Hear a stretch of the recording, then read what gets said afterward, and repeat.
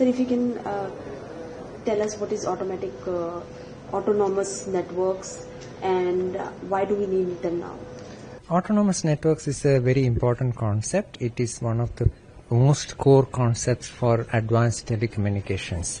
We are trying to set up autonomous networks so that the cost comes down, the telecommunications capability goes up. It's important for users to have this capability.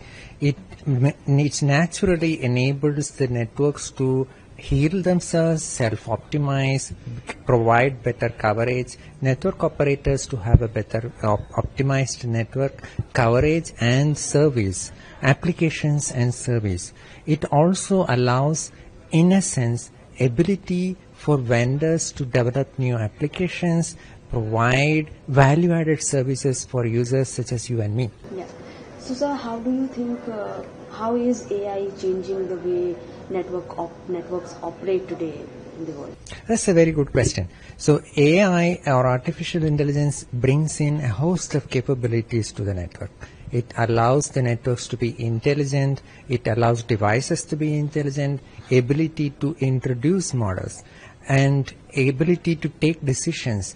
I told you about self-optimization, self-organization, ability to have autonomous decisions taken, taken in the network. These capabilities are now enhanced not only using statistical methods and numerical methods and mathematical methods, now it is applying AI. Now, this AI capability comes with data from the network. So we extract data from the network, utilize it right there to apply, train these models and enhance the capability of the network to provide, develop and provide new applications and enhanced experience for the users. That also comes with capability to debug applications, debug problems. You, the operators are able to now decide find out where is the root cause to the problem. Suppose your call is not working. You are playing a YouTube video and it is not working. You make a call to the operator saying, hey, that's not working. They need to find out now what happened, what went wrong.